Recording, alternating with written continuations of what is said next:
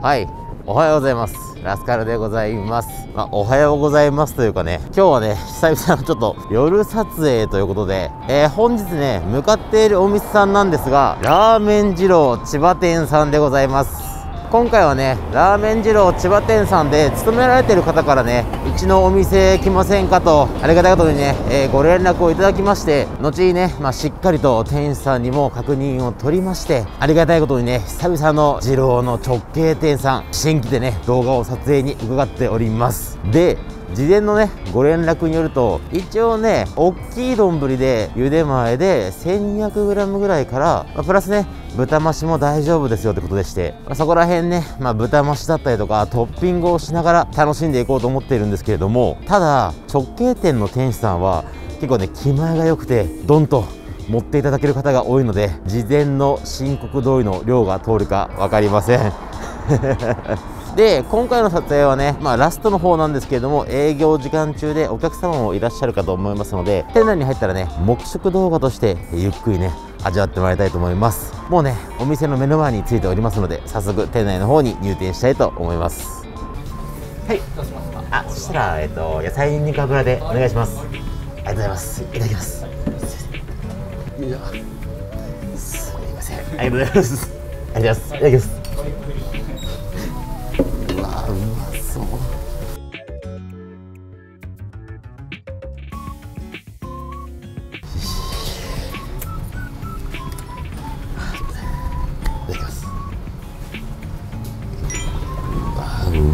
すぎるな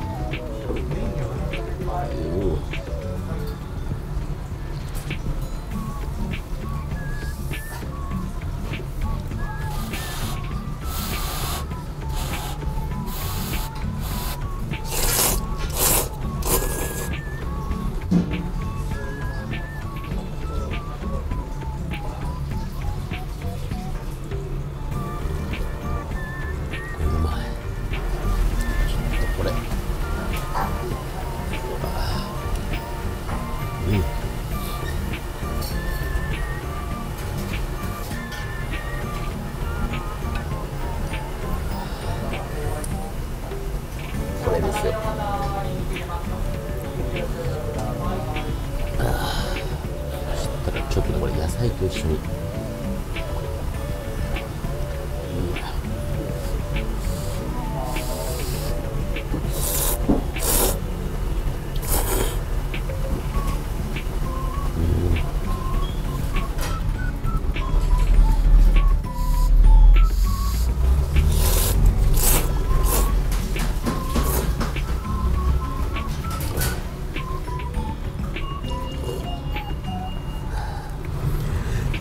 for them.